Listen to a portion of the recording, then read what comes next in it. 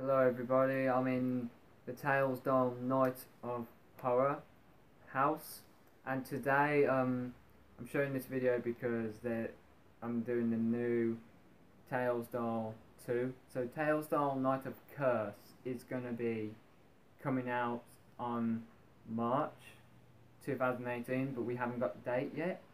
So we are getting ready to start filming it on September the 23rd on 2017 and if you guys are going to be excited I don't know what the age appropriate is yet so I'm going to just say when that is up.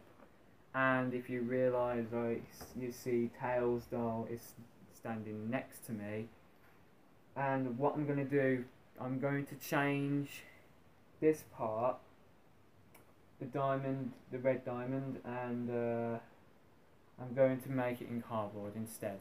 So, because it keep coming off. I saw it come off um, in the bag today, so I'm going to try and try and make it better.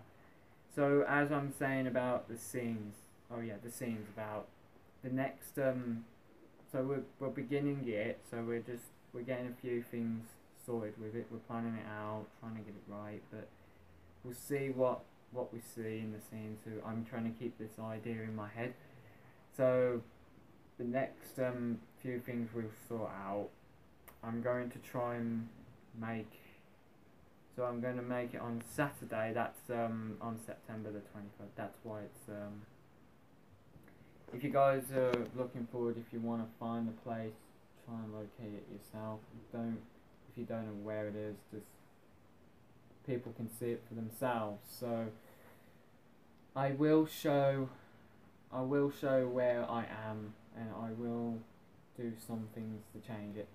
So there's more things to do. There's going to be a few ideas. I've had a piece of papers on the door over there. So, but you can't see them because they're on the other side.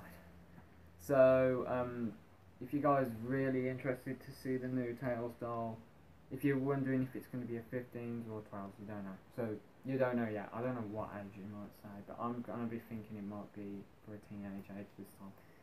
So I'll um, see you guys next time with more more videos very soon. And please subscribe, hit like, and try and please put a comment. And I think that'll be it for now. And thank you for watching and goodbye.